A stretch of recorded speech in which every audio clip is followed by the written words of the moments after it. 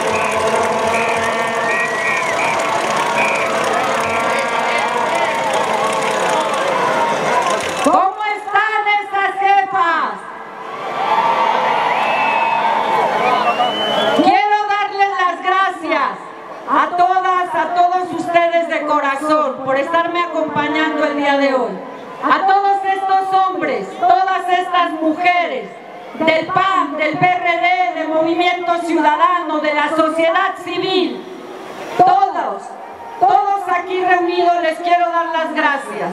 De todo corazón, sobre todo, no nada más por acompañarme, sino sobre todo porque me permiten demostrar una vez más que aún contra todo pronóstico, cuando nos proponemos algo, claro que lo podemos lograr. ¿O alguien tiene duda quién va a ser la próxima jefa de gobierno de esta ciudad?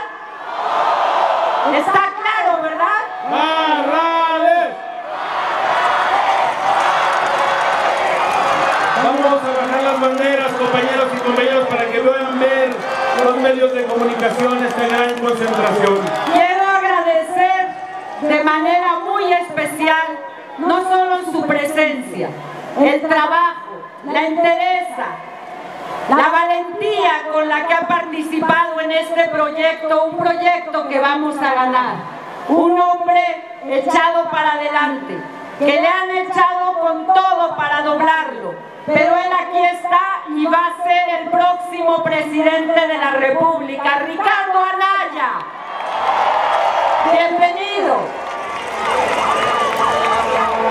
Yo quiero decirles, amigas y amigos, que lo más importante para mí ha sido contar con este apoyo de todas y de todos ustedes para poder demostrar que esta es una ciudad de oportunidades y que cuando uno se lo propone podemos salir adelante. Ustedes conocen mi historia. Es una historia como la de muchas y muchos que están aquí, porque a mí siempre me ha dado mucho orgullo reconocer que igual que muchos aquí presentes, yo también vengo desde abajo, que en español quiere decir que vengo de rifármela desde abajo, como lo hace el pueblo mexicano, como lo hacemos los chilangos. Y también me han dado la oportunidad de confirmar que esas historias que a veces nos quieren contar, sobre todo a las mujeres, no tienen que ser ciertas. A mí me dijeron en esta historia de vida que yo no iba a ir a la escuela, que no iba a ser profesionista porque era mujer. Yo no me creí esa historia. Empecé a trabajar a los 15 años y aquí estoy, abogada, maestra en administración pública y voy a ser la próxima jefa de gobierno de esta ciudad.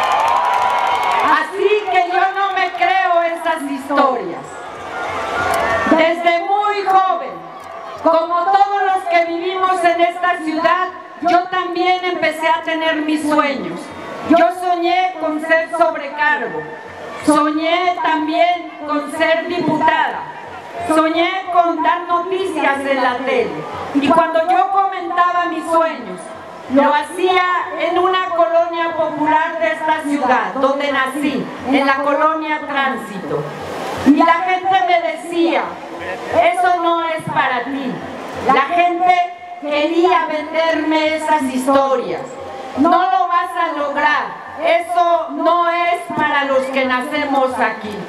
Y una vez más, yo no me creí esa historia, pero cuando me la decían, es cierto, tenían razón. El tiempo demostró que tenían razón. Esa historia no era para mí, porque no solo me convertí en sobrecargo, me convertí en dirigente nacional de sobrecargos. Sí tenían razón, porque no solamente me convertí en diputada, me convertí en tres veces diputada, una vez senadora, tres veces integrante de gabinete de esta ciudad y por supuesto, con mucho orgullo, presidenta nacional del PRD. Esa era la razón que tenía.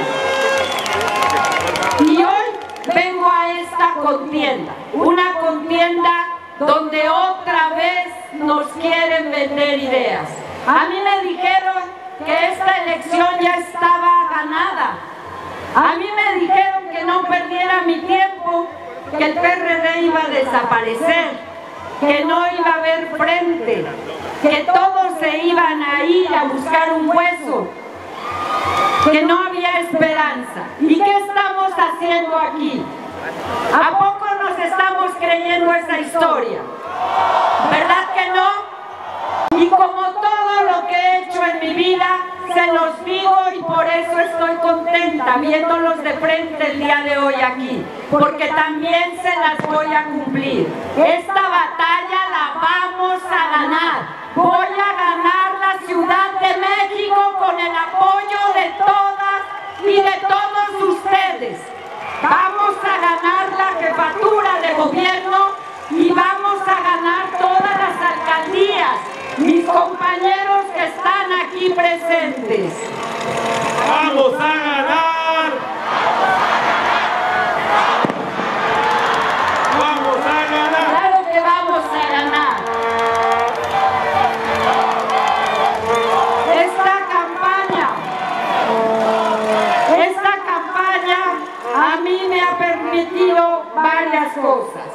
Me ha permitido, por un lado, vivir lo que hoy está viviendo esta ciudad. He podido ver a lo largo de esta campaña que en esta ciudad todavía hay pobreza. He podido ver en esta campaña que la gente tiene miedo. Eso es cierto, la inseguridad que vive todo el país también ya le pegó a la Ciudad de México.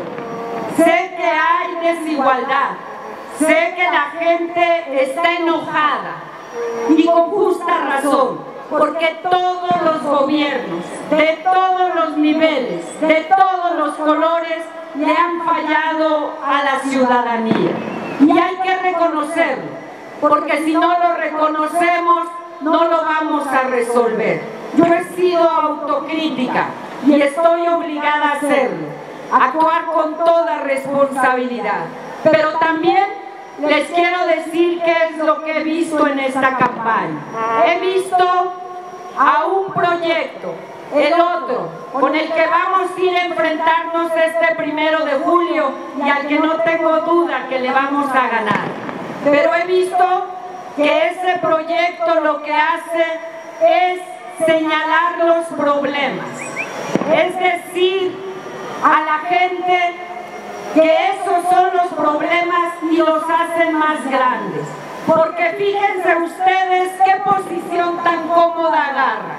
Ellos dicen que de estos 20 años de gobierno, donde muchos de ellos estuvieron aquí también con el PRD, todos más bien, no muchos, todos estuvieron aquí, ahora resulta que lo bueno de estos 20 años se lo llevan ellos.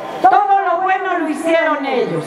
Y lo que no sale bien, lo que tenemos que arreglar todavía, resulta que eso es del PRD. Eso en español se llama poca responsabilidad. Poca responsabilidad, ¿no es cierto? Qué poca responsabilidad tienen, ¿no?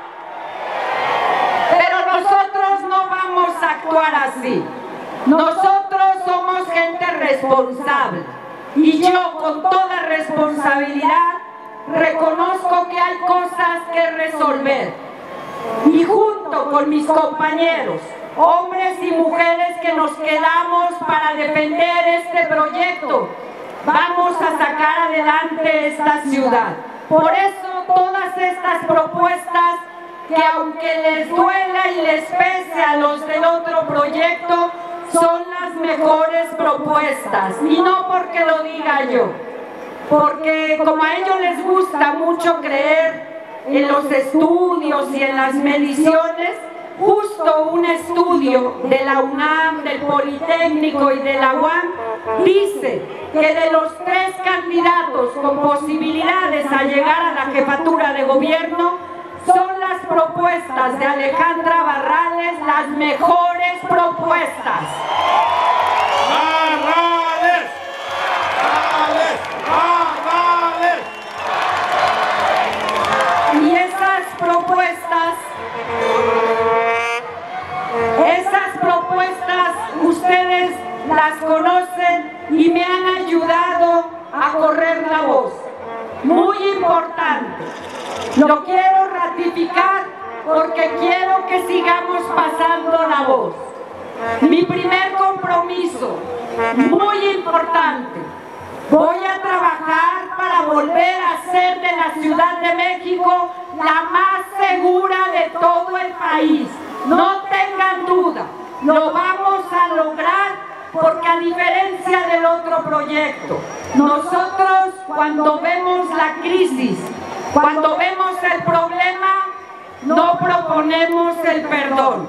Para el frente ante la delincuencia no hay amnistía.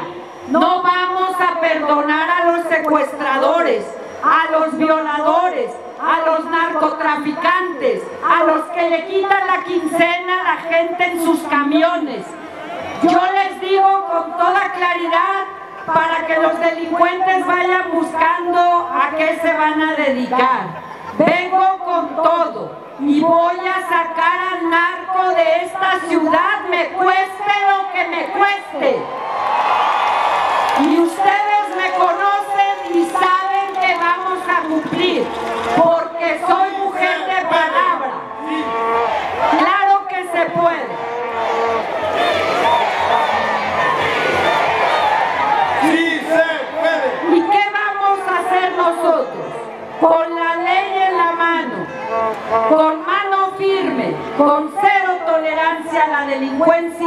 Nosotros vamos a ganar esta batalla. Pero también le vamos a entrar al fondo.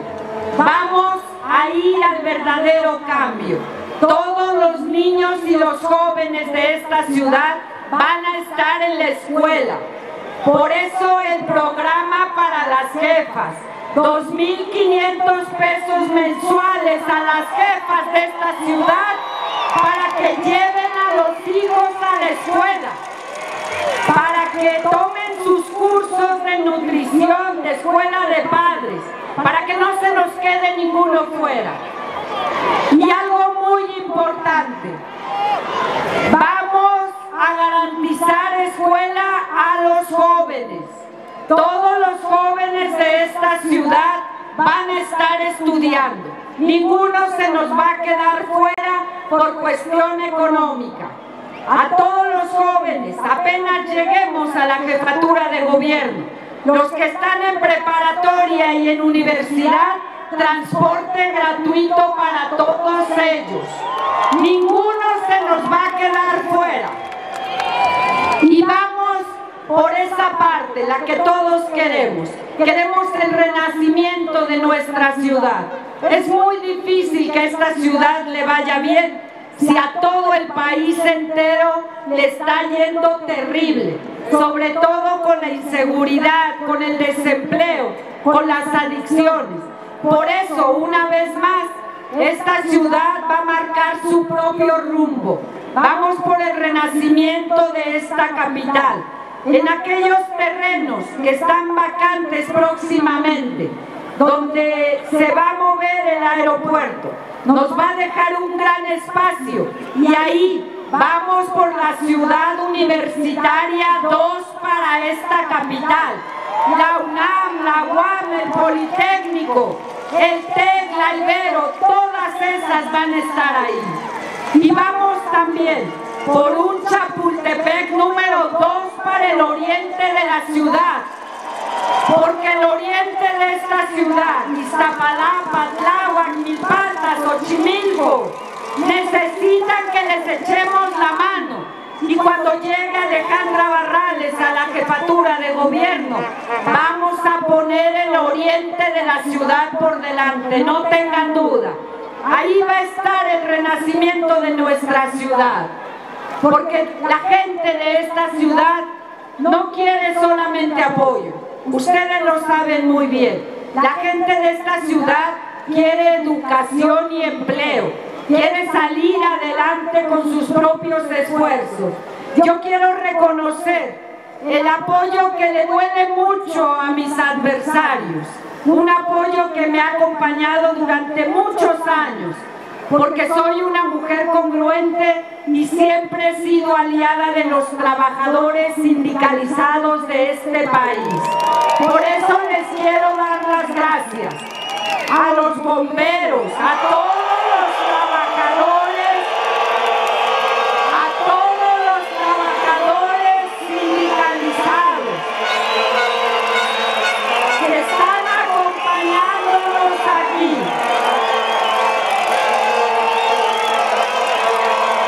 Porque hoy ya vi que llegaron aquí con nosotros trabajadores,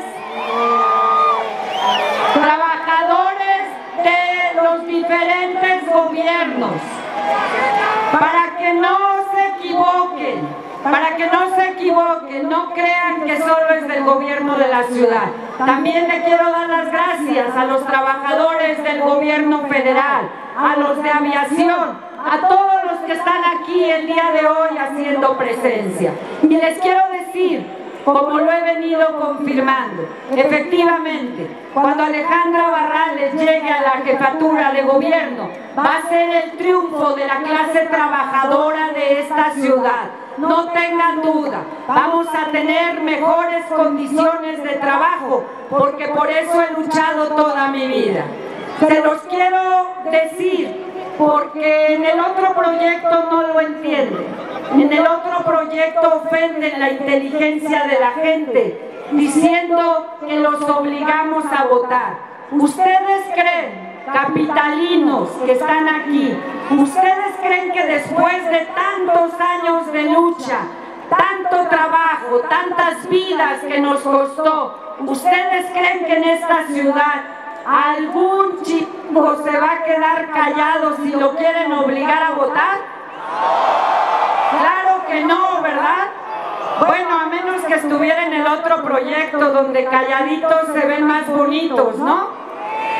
Ese no es nuestro caso. Aquí vamos a ganar por la buena. Vamos a ganar con votos de carne y hueso. Y les quiero decir también que esta campaña nos ha permitido desnudar todas las mentiras que nos han venido contando los del otro proyecto, que se quieren hacer pasar por los puros, pero los puros mentirosos y simuladores, porque ya se los dije en su cara, hasta donde me dejaron acercar. Yo se los quería decir más de cerca, pero no nos dieron oportunidad. Y yo les quiero decir, amigas y amigos, esta campaña ha dejado claro algo que es muy importante. Nos querían convencer que ya estaba todo ganado. Y hoy el mensaje es muy claro.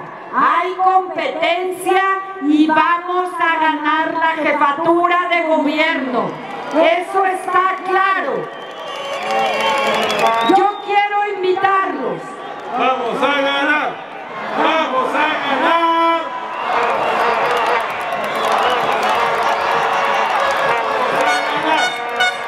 Claro que vamos a ganar.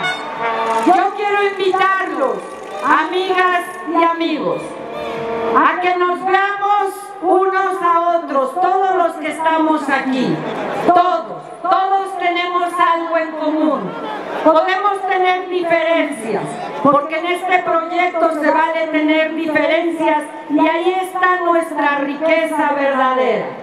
En este proyecto tenemos un objetivo en común.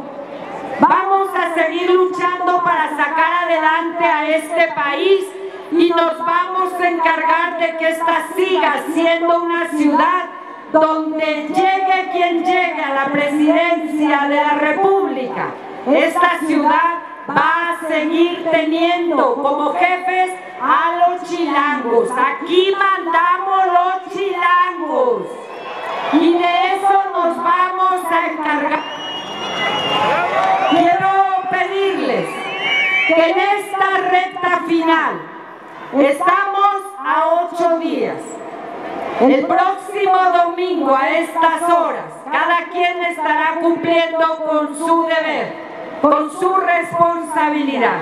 Y yo les quiero pedir que vayamos con fuerza, que igual que siempre lo hemos hecho, como yo también lo he hecho cuando de repente me canso, cuando de repente pienso que son muchos los que se siguen resistiendo, yo vuelvo a cargar pila y vuelvo a cargar energía cuando veo las caras de toda esa gente que viene de lejos, todos esos adultos mayores que nos saludan con esperanza, que quieren mejor vida, que quieren educación, que quieren salud, que quieren alimento, que quieren vivir con dignidad, que quieren una vivienda. A todos ellos yo les digo que esa es la razón de este frente y que por eso vamos a luchar. Les quiero pedir, amigas y amigos, que en esta recta final entremos con todo, que vayamos a visitar a todos, que volanteemos en todas las calles y todas las casas, porque tenemos que defender a esta ciudad. En esta ciudad no cabe el autoritarismo. En esta ciudad hemos luchado las mujeres para ser mujeres libres. Me da mucho gusto que este próximo primero de julio los capitalinos vamos a decidir qué mujer queremos gobernando la ciudad. Me siento parte de esto, pero yo no luché para que llegue una mujer a obedecer. Yo luché para que llegue una mujer a gobernar. Y esa mujer se llama Alejandra Barrales. Por eso vamos a ganar el próximo primero de julio.